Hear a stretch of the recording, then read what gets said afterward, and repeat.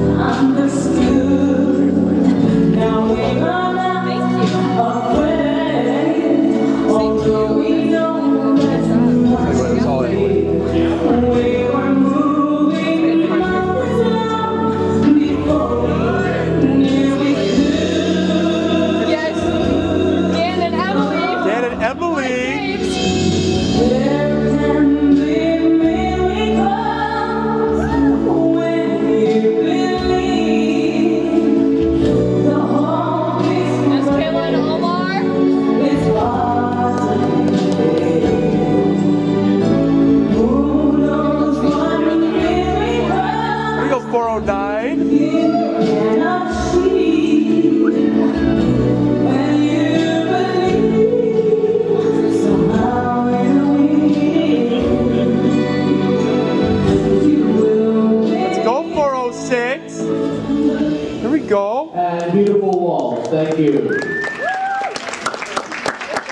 Competitive?